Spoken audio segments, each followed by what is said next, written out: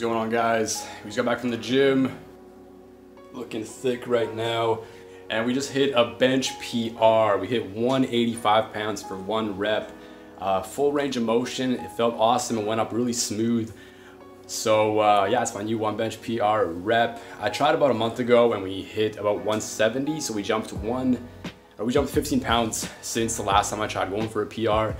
So definitely making a bunch of progress to the 275 bench press um, goal that I'm going for. If you guys don't know, me and my roommate Ishrak are competing to get to a specific bench rep, one rep max. I'm going for 275, he's going for 315. So I got 90 pounds more to go and I kind of calculated if I can get at least five pounds on my bench every single week. It's gonna take about four months, but I know near the end, those five pounds per week are gonna get a lot harder. So I'm gonna give myself about six months to hit this goal, which I think is enough time to hit a 275 pound bench.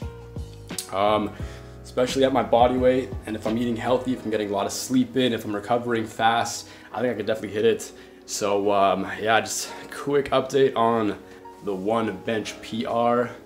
We got Prakar and his girlfriend in the background, little lovebirds over there. I don't know what they were doing when I was gone at the gym. I can't say anything. I won't do anything.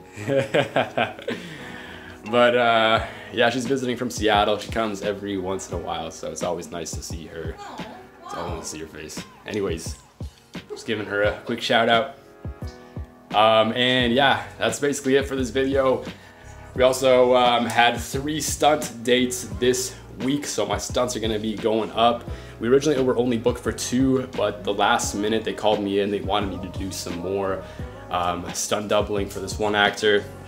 So that was a really awesome experience. Got to have three stunt days this week to close out the year. And we are actually um, getting submitted for a acting role in January.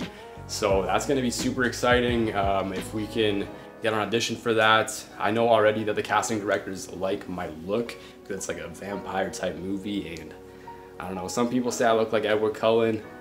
So uh, I don't even know. We'll see. We'll see if I uh, see if I can get some auditions for that. Um, or if I can even book it, but uh, it's gonna be in January. So yeah, it's another update. Anyways, that's it for this video. Love you guys. Peace out.